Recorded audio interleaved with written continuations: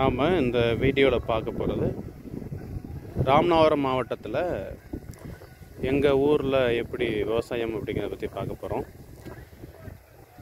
ராமநாதபுரம் மாவட்டம் வறட்சியான மாவட்டம்னு சொல்லுவாங்க. அங்கே எந்த மாதிரிலாம் விவசாயம் நடக்குது அப்படிங்கிறத பற்றி தான் எல்லாம் தெரிஞ்சுக்கிற போகிறீங்க இது நெல் நெல் அறுவடைக்காக இருக்கிற நெல் இது இன்னொரு ஒரு ரெண்டு மூணு நாளில் அறுத்துருவாங்க. நெல் விவசாயத்துக்காக இங்கே வந்து நெல் விவசாயம் மழையை நம்பி தான் இருக்குது அது இல்லாமல் இந்த மாதிரி குட்டைகள் போட்டு வச்சுருப்பாங்க. சின்ன சின்ன கம்மாய்கள் இந்த மாதிரி இருக்கும். இதில் தேக்கி வச்சு தண்ணி தேவைப்படுற நேரம் பாய்ச்சிக்கலாம்.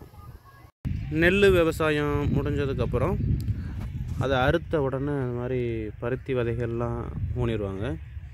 பருத்தி ஊன ஆரம்பிச்சிட்டாக்கும் ஒரு ஏப்ரல்லேருந்து ஆகஸ்ட் வரைக்கும் பருத்தி வந்து எடுக்க ஆரம்பிச்சிடுவாங்க இது வந்து இப்போதைக்கு ஒரு கிலோ ஐம்பத்தஞ்சு ரூபா போகிறதுனால விவசாயிகளுக்கு இது வந்து உங்களுக்கு நஷ்டம் இல்லாமல் ஒரு லாபத்தை கொடுக்கக்கூடிய ஒரு இது. இந்த வீடியோவில் பார்க்குறது வந்து நெல் அறுவடை மிஷின் அந்த இங்கே ஒரு ரெண்டு மிஷின் அறுத்துக்கிட்டு இருக்காங்க.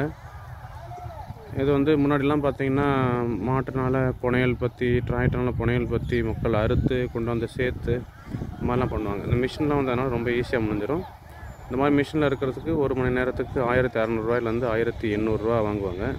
இந்த மாதிரி அறுத்து இந்த மாதிரி டிராக்டரில் கொண்டு போய் வீடு கொண்டு போயிடுவாங்க.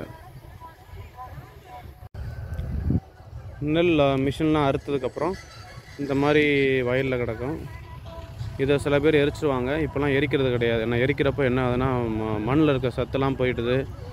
மண்புல்லாம் செத்துருது அப்படிங்கிறதுனால இதுக்கு இப்போ ஒரு டிராக்டருக்கு பின்னாடி ஒரு மிஷின் இருக்கும்.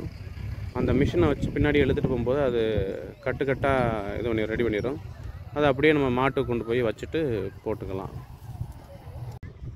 இது மிளகாய் கொல்லை இது வந்து ஒரு நவம்பர் மாதம் டிசம்பர் மாதத்தில் என்ன பண்ணுவாங்கன்னா சின்ன சின்ன மிளகா கண்டை பண்ணைகளில் வச்சுட்டு வயலில் இது பண்ணுவாங்க. வயலில் ஊறினதுக்கப்புறம் இந்த மாதிரி மிளகாயெல்லாம் காய்க்கும். இப்போ தான் காய்க்க ஆரம்பிச்சிருக்கு.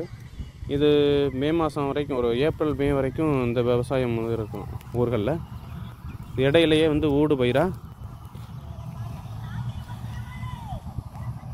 ஈத்திக்காய் வெண்டிக்காய் உளுந்து வெங்காயம் இந்த மாதிரிலாம் போட்டுக்குருவாங்க. அப்படிங்கிறப்ப இந்த ராமநாதபுரம் மாவட்டத்தை பொறுத்தவரையில் இந்த பரமக்குடி முதுகுளத்தூர் அதாவது ராமநாதபுரத்து வந்து பரமக்குடிக்கு இடைப்பட்ட அந்த பகுதிகள் இருக்கு இல்லையா? சாயல்குடி கடலாடிக்கு முன்னாடி. அந்த ஏரியாக்களில் வந்து நெல் விவசாயம் இருக்கும் மிளகா விவசாயம் இருக்கும் பருத்தி விவசாயம் இருக்கும். இது மூணுமே இருக்கும்.